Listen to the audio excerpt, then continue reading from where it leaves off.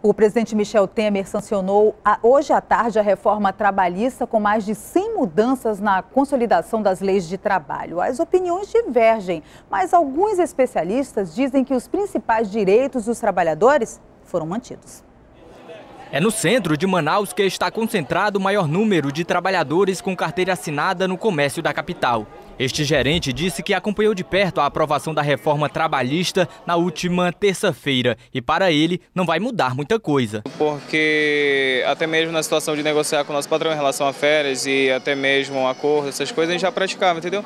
Então pra gente não vai ter muita alteração, não vai fazer muita diferença não. É, mas por outro lado, tem muita gente contra as mudanças. Vai, tipo, mexer com, com tudo, com tudo, com a minha carteira de trabalho, com, com meus horários. Se já era ruim, ficou pior ainda. Primeiro, férias. O patrão, ele pode dar, como também ele não pode.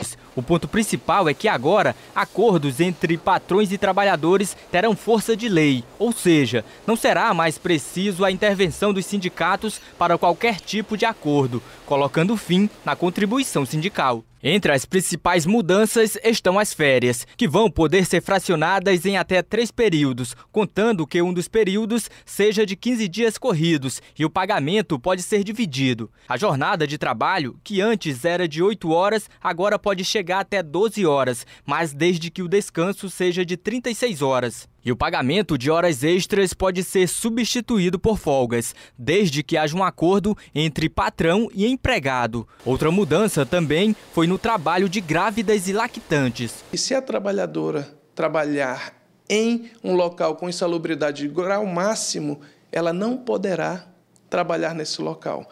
Quando a insalubridade for em grau mínimo e médio, ela ela com o médico dela, é o médico particular, não é médico de SUS, não é médico da empresa. Se o médico dela, da mulher, disser que ela não pode trabalhar nesse local, ela não, trabalhar nesse, não trabalhará nesse local. Outro ponto negativo na reforma é que agora o empregador pode optar demitir o trabalhador com carteira assinada e contratar como terceirizado, que vai estar amparado pela lei da terceirização, aprovada ainda em março deste ano. A construção civil do Amazonas diz que os trabalhadores do setor serão os mais prejudicados. Na capital no interior, a gente tem em torno de 80 mil trabalhadores, mas só na capital nós temos em torno de 30 mil.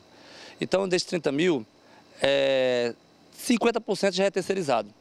Então, o terceirizado ele não tem compromisso. A mudança em mais de 100 pontos na CLT, de fato, gerou polêmica entre a população. O governo diz que a reforma vai estimular novas contratações no mercado de trabalho. Mas, para os especialistas em leis trabalhistas, o ponto positivo é que os principais direitos dos trabalhadores foram mantidos.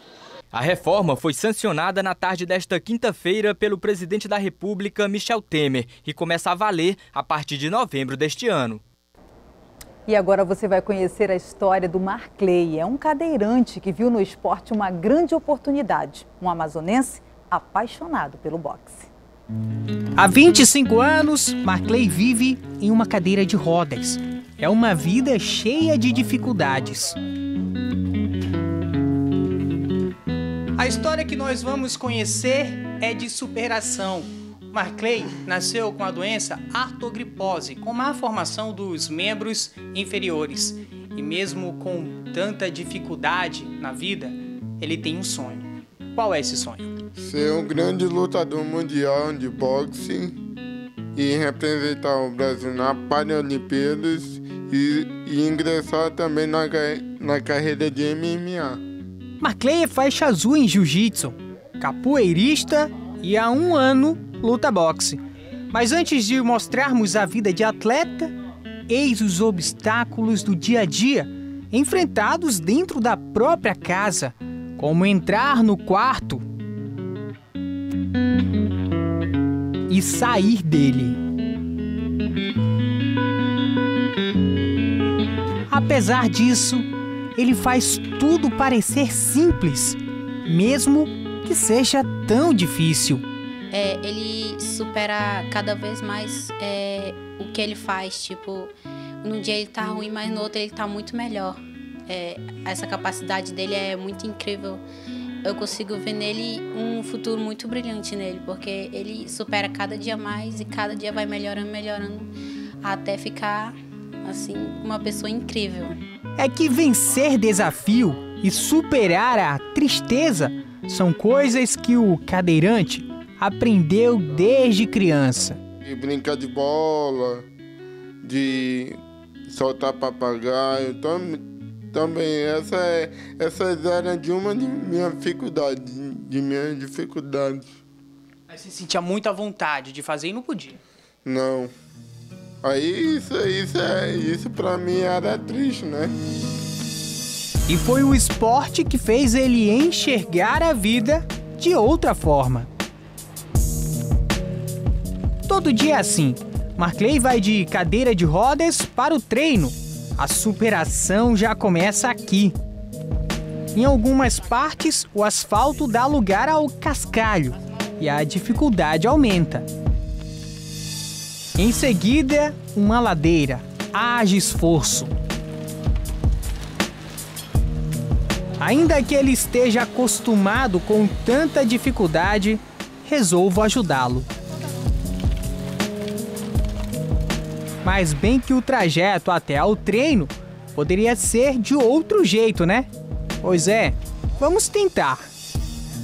A gente está aqui nesse ponto de ônibus no Novo Aleixo à espera de um coletivo para levar o Marclay para a academia. A gente vai ficar aqui na expectativa até passar um ônibus. Ele nunca consegue. Vamos ver se hoje, de repente, pode ser que passe algum ônibus com o elevador funcionando.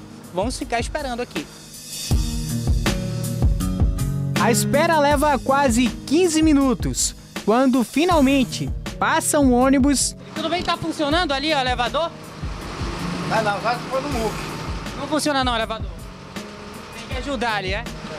É, mais uma vez, o trajeto até o ginásio Zezão, na Altais Mirim, será de cadeira de rodas. São 40 minutos até o local do treino. Faz parte do meu dia a dia. Na, na verdade, não tem outra opção de, de transporte, né? Além, além de ser na mesmo. Logo, o Marclay começa a atividade. Acompanhado do professor Pedro Nunes, idealizador do projeto Ring Box, que há 28 anos leva jovens carentes para o esporte.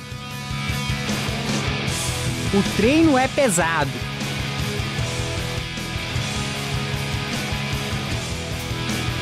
A luta é o momento mais esperado. A cadeira de rodas do adversário foi comprada pelo próprio professor. O oponente usa a cadeira para igualar as condições. Significa é ajudar um amigo, né? E mostrar também que o sonho nunca é impossível. Sempre tem que ter força de vontade, sempre tem que, tem que acreditar que o sonho se realizar, né? E é esse espírito de vencedor que faz todos se esforçarem ainda mais para ajudá-lo nessa caminhada. O próximo desafio do Marclay agora é conseguir um adversário. Aqui no Amazonas não tem. O professor está à procura de um pelo Brasil. Eu já estou contactando com pessoas cadeirantes, lutadores cadeirantes, Rio, São Paulo, para vir aqui no Amazonas lutar com ele, ou senão eu levo o Maclay lá em São Paulo ou no Rio. O Maclay em si tem muita coisa boa. E olha, gente, coisa boa aqui da qual um atleta normal não tem, que é justamente a atitude, a força de vontade, a determinação e olha, e o amor pelo boxe. Amor pelo boxe e pela vida. Enquanto espera por um adversário, Marclay mata a vontade de competir nos treinos. Ao fim, vem o cansaço, mas satisfeito por mais um dia superado. Sai daqui desse treino maravilhado, porque eu agradeço muito a Deus por ter, por ter conhecido esse projeto, o Ring Box, por, por ter me dado mais, mais essa oportunidade que ele está dando, entendeu? Para mim, para mim isso é uma vitória já.